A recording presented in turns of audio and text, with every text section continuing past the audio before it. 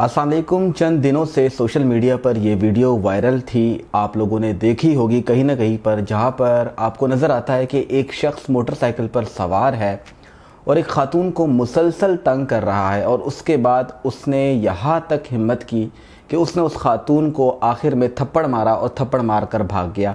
इससे पहले उस लड़की ने, उस खातून ने एक पत्थर उठाया, वो भी उसको मारने की कोशिश की। लेकिन उसके बावजूद वो मना नहीं हुआ, फिर उसके करीब गया और आखिर में थप्पड़ मारा बहुत बुरे तरीके से, ज़मीन पर गिराया और वहाँ से भाग गया। इसको यकीन था क्योंकि उसकी नंबर प्लेट नज़र नहीं आ रही थी मोटरसाइकिल की और शायद चेहरा भी इतना कोई वाज नहीं था तो समझा कि शायद मैं बच जाऊँगा। इस केस के ऊपर बहुत से लोग आवाज़ उठा रहे थे। ये मुल्तान का वाक़ था और मुल्तान पुलिस की ज़िम्मेदारी थी कि इसको फौरी गिरफ़्तार करे। बहरहाल, अभी कुछ देर पहले पुलिस ने यह खबर सुनाई है कि इस मुलजिम को गिरफ़्तार कर दिया है और इसकी बाकायदा तौर पर तस्वीर जारी कर दी गई है। अलबत् इसका चेहरा जो है पुलिस की जानब से छुपाया गया है, क्योंकि कुछ रूल्स और कुछ कवानीन होते हैं कि जब तक जुर्म साबित ना हो जाए या मुलिम पर एफ़ आई आर ना हो जाए, तब तक उसका चेहरा नहीं दिखाया जाता।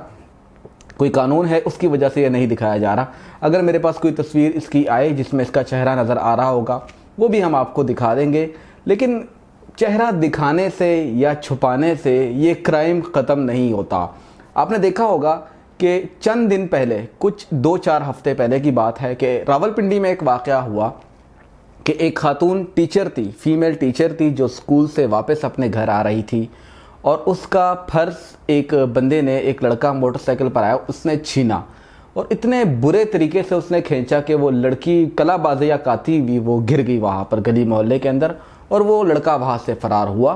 वो वीडियो भी सोशल मीडिया पर वायरल हुई और उसके बाद पुलिस ने एक्शन लिया और उस शख्स को 24 घंटों के अंदर अंदर गिरफ़्तार किया रावलपिंडी पुलिस ने, जो कि एक बड़ी बात है।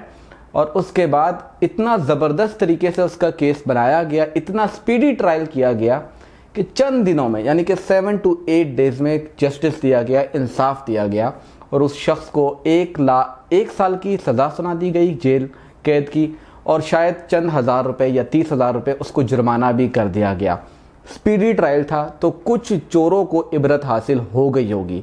क्योंकि होता ऐसे कि यहाँ पे डकैतों को, चोरों को पता होता है कि भाई हमने अगर इस तरह की वारदात की तो पाँच छः महीने, तीन, चार महीने हम बाहर आ ही जाएँगे, हमें सज़ा नहीं होगी। लेकिन जब आप चोरों को पता लगेगा कि भाईजान, नहीं, ऐसे केसेस में सज़ा जल्दी हो जाती है।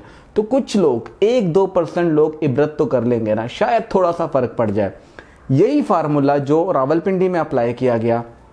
अगर मुल्तान के केस में, इस लड़की के केस में अप्लाई किया जाए और इस शख्स का स्पीडी ट्रायल किया जाए तो शायद मुल्तान की हद तक या पंजाब की हद तक आप बात कर ले कि एक दो परसेंट फ़र्क पड़ जाए। कि कोई बंदा किसी अकेली लड़की को गली में देखे तो उसको छेड़ेगा नहीं कम अज़ कम। कैमरे लगे हो या ना लगे हो, कोई और चीज़ उसको पकड़ लेगी, क्योंकि चोर कुछ ना कुछ छोड़कर जाता है।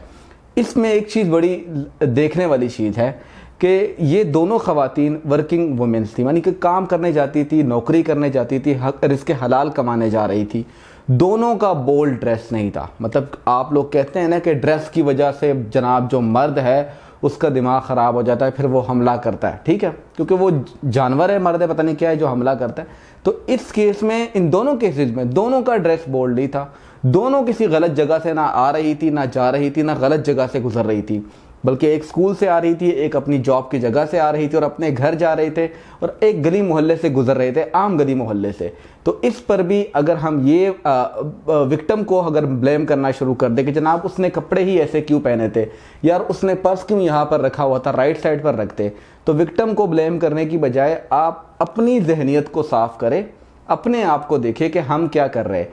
ये दो केसेस जो है, इसको पुलिस ने बहुत अच्छे तरीके से सॉल्व किया है। अगर इन दो, इस केस में भी जो मुल्तान का केस है, यहाँ पर भी स्पीडी ट्रायल हो तो मेरा ख्याल है कि शायद इससे कुछ फ़र्क पड़ जाएगा। बाकी तालीम शूर और इसके अलावा तरबियत जो है, उसकी कमी है हम में, और उसको पूरा करने के लिए भी हमें बहुत सारा वक्त दरकार है। ऐसे वाक़ात होते रहते हैं। कुछ कैमरों में आ जाते हैं, कुछ नहीं आते, कुछ सोशल मीडिया पर वायरल हो जाते हैं तो इंसाफ मिल जाता है। कुछ नहीं होते तो किसी को पता ही नहीं होता। आपके इर्द गिर्द ऐसा कोई वाक़ हो तो ज़रूर इसको पॉइंट आउट करें सोशल मीडिया पर शेयर करें वायरल करें, ताकि ये जो बीमारी है, कम अज़ कम एक इस्लामी जमहूरी मुल्क के अंदर तो कम अज़ कम ख़त्म हो जाए, ताकि हम ये फ़ख्र से बता सकें कि ये इस्लामी जमहूरी पाकिस्तान है। यहाँ पर हर औरत की, हर लड़की की इज़्ज़त महफूज है। बजाय इसके कि हम लोग जाके यूरोप और अमेरिका की मिसालें दे के जनाब, वहाँ पर लड़की रात को अकेली निकल सकती और यहाँ पर नहीं निकल सकती, जो कि अफसोसनाक है। बाकी आप लोग कमेंट सेक्शन में अपनी राय का इजहार ज़रूर कर सकते हैं। चैनल को सब्सक्राइब करें। अल्लाह हाफिज़। पाकिस्तान हमेशा जिंदाबाद।